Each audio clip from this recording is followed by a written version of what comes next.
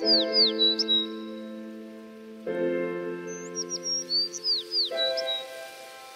morning, boys and girls. I'm Pastor Doug. I'm the pastor here at Northview Church where you go to school. And normally I would have you and your teachers come in here to this big room that we call the sanctuary for chapel time. But right now we're doing them on video so that we can stay separate from each other and be healthy and safe at this time. Now when you come in here for chapel, I'll talk with you about God and I'll share stories from the Bible about God and God's people. And we'll also pray together. Now, when I was your age, I was taught certain prayers. I was taught a prayer to say before meals, and I was taught a prayer to say at bedtime. Now, the prayer that I was taught to say at bedtime is one that we don't necessarily use now. So I asked some of my other friends who are pastors and who have children what sorts of prayers they teach their children to pray. One friend of mine said that when his children go to bed, they pray the prayer, Give us good rest so that we can love others better tomorrow.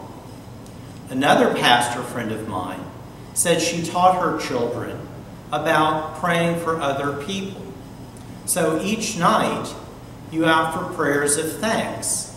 Thanks for something that happened that made you happy or joyful during the week. Prayers for somebody that made you happy or did something kind for you. And then they ask for the prayers for how things could be better in life, ways that you might improve, or something involving another friend who might be ill, where you pray that that friend would be better. And that's the way she leads prayers with her children at night. Now, when we come in here on Sundays, and I lead worship for all the people sitting out there in what's known as the congregation, we pray together. And before we pray, we share what's known as joys and concerns. The joys are why we're happy this week. Maybe somebody had a birthday or an anniversary. Someone might have a new job.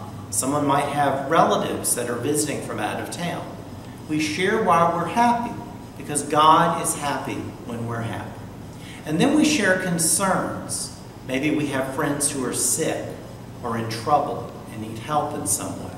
Because when we're concerned about other people, God is concerned too. And then we pray together. Now, in chapel time, I will lead us in a prayer at the end of chapel time each week. And it's a prayer of blessing. Blessing is one of the ways that we talk about God and how God loves us. So when we say this prayer, I want to invite you to put your hands together like this in a prayer position.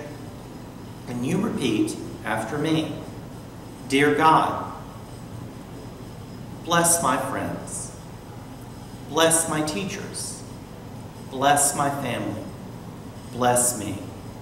Amen.